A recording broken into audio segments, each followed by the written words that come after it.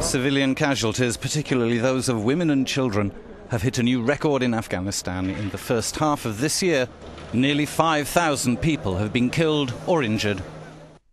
Along with the deaths are a shocking number of injuries, and after 14 years of war, the rise in child and female casualties is especially sharp.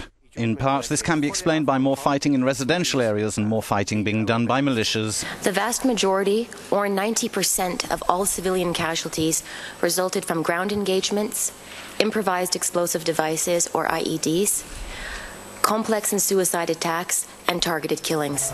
Other factors contributing to the rise in casualties are the withdrawal of coalition air support and equipment, resulting in the use of less accurate munitions, such as mortars. Unfortunately, the security situation in our country is worse, and many people today are worried about the deterioration in security everywhere.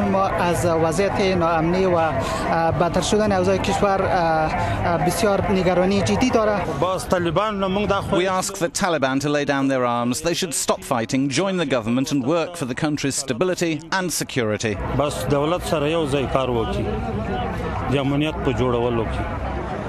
That, however, seems unlikely as the Taliban appears split following the confirmed death of Mullah Omar, who had been supporting peace talks. His succession appears unsettled, with factional fighting increasing, with civilians caught in the middle.